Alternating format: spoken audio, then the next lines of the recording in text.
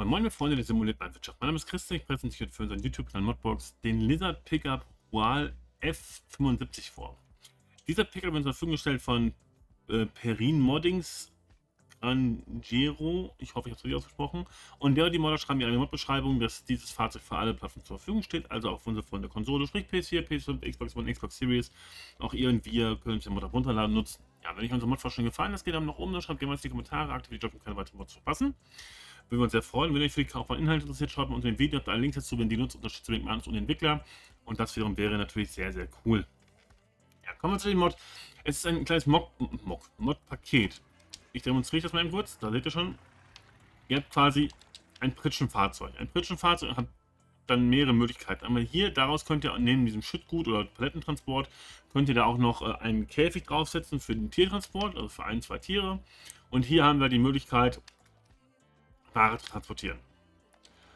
Und das hier ist halt das, das Haupt, das Grund, also quasi das Hauptelement des Fahrzeugs. Damit fahrt ihr einfach drunter, er kennt den, zack, setzt sich drauf und schon könnt ihr quasi losfahren.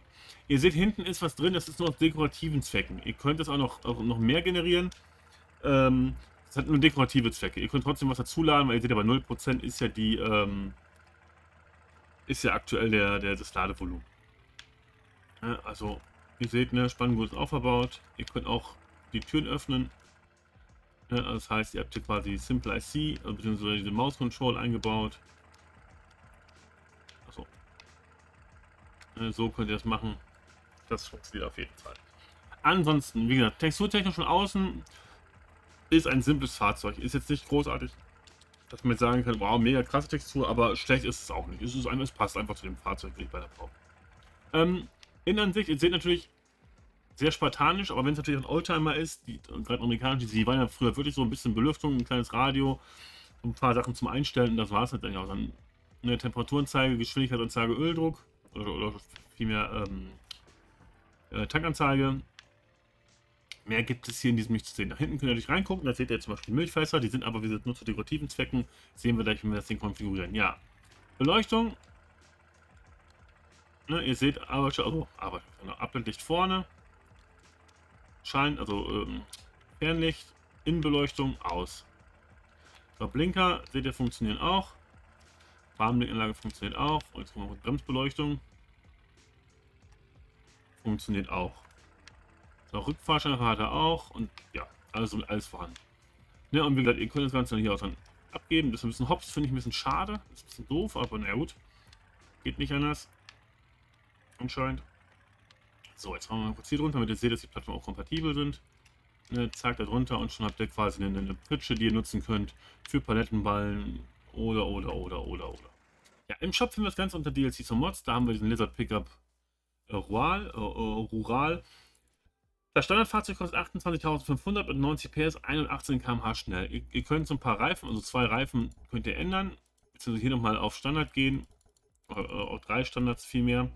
Die Hauptfarbe könnt ihr in den, ja, nicht ganz Alice, aber vielen Alice-Farben könnt ihr es ändern. Die Stoßstangenfarbe könnt ihr auch ändern. Da könnt ihr euch quasi ganz wild durchkämpfen und die Felgenfarbe ist ja klar, was, man, was es ist, ne? könnt ihr euch wild durchkämpfen. Wenn ihr das tut, kommen in dem Fall nochmal 850 dazu, sprich für 29.350 hat das Ganze. Und das sind die beiden Aufsätze. Und die Metallkarosserie könnt ihr als Ballenwagen, Kapazität mit 8000 Liter, mit 950, mit 500 Liter oder als Ballenwagen. Und ihr könnt sagen, Dach drauf, ja oder nein. Ne? Dann könnt ihr quasi dazu laden. So, auch hier könnt ihr die Farbe halt ändern, um es dem Fahrzeug, wie ihr es vorab konfiguriert, natürlich anzupassen. Hier machen wir Holzkarosserie. Könnt ihr auch als Ballenwagen oder Transport von Viehen nehmen. Ne? Ihr könnt noch die Seitenstreifen schwarz, weiß, also könnt ihr quasi noch die Farben anbringen. Standardboden oder Holzboden macht natürlich, wenn jetzt also Holzböden macht natürlich beim Tier vielleicht ein bisschen mehr Sinn und die, auch hier könnt ihr die Karosseriefarbe quasi anpassen, äh, so wie ihr quasi euer Fahrzeug konfiguriert habt. Ja, und, ach, warte, wir mal gucken. Ihr könnt mit den T-Transporten, oh, steht jetzt leider keine. Also da unten steht's. Äh, könnt zwei Rinder, sechs Schweine, sechs Schafe oder zwei Pferde sogar transportieren. Weil sechs Schweine finde ich schon hart, muss ich sagen. Ja, und hier könnt ihr es schon 5.000 und 8.000 Liter Volumen und das Auto halt.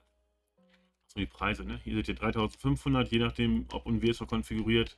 Und hier sind es 3.900, je nachdem, wie es konfiguriert. Also sprich, eins roundabout um die 40.000 habt ihr quasi einen, ja, also ein, ein Fahrzeug, was sehr ähm, individuell ist und mit dem ihr halt viele Aufgaben auf dem Hof lösen könntet. Natürlich eher für kleine Höfe. Wenn ihr natürlich einen großen Mastbetrieb habt, macht es natürlich wenig Sinn. Ist ja klar. Ja, und mehr kann ich euch dazu auch gar nicht sagen. Außer dass, wenn es euch gefallen hat, würde ich mich natürlich sehr freuen, wenn ihr einen Daumen nach oben da lasst. Schreibt gerne was in die Kommentare, aktiviert Glocke, um keine weiteren Mods zu verpassen. Würde mich sehr freuen. Und in diesem Sinne, tschüss und ciao, bis zum nächsten Mal. Euer Christian von Nordbox. Ciao.